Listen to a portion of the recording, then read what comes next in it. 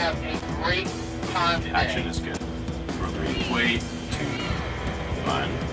Pull for action. Welcome everybody to the Google Hangout. My friend Andy Bell is here. We're off the grid. There's no road showing up, and we're getting out here, and we're gonna keep it wild. Let's get over to Steve Bloom. Steve's got our next question. Steve? How does the crawl control feature work? It is cruise control for off-roading. It controls the brake and the throttle for you and keeps you going at consistent speed both up and down. That is a heck of a hill. From this angle, it does look very sketchy.